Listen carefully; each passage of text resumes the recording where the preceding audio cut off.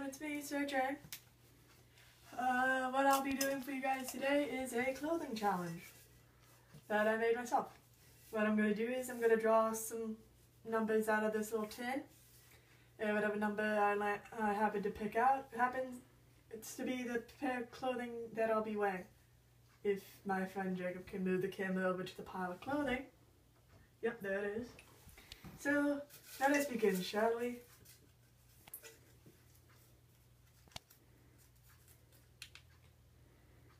Okay, I'm gonna have to wear a raincoat. Alright, got my raincoat on. To pick my own shirt, so let me pick out a shirt. Good, this is the shirt that I have picked up. It's Johnny Cash. Alright, perfect fit. Alright, now time to pull out something else from my magical bucket of torture. Hollister jacket. I got a fat shirt, I mean a fat jacket, a back jacket. Time for my next item of torture. Oh yeah, wait.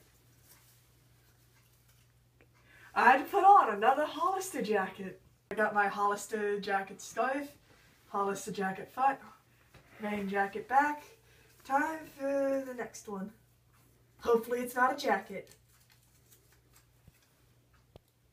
A skirt. Alright. Putting on a skirt, and this is kind of hard. Because one jacket keeps on wanting to slip off.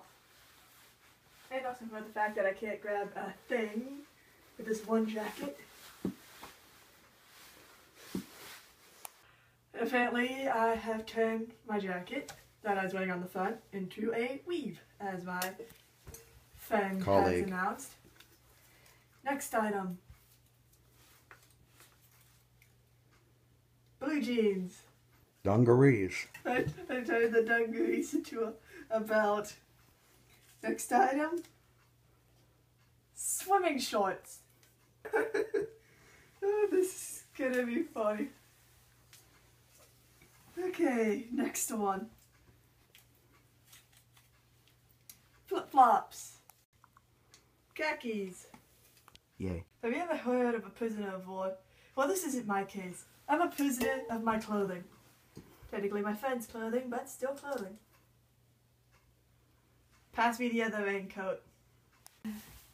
Get out of everything.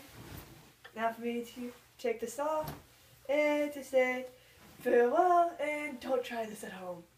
Especially if you're in a really hot room filled with like three lamps and uh, something else. So, bye fellow viewers and have a good day.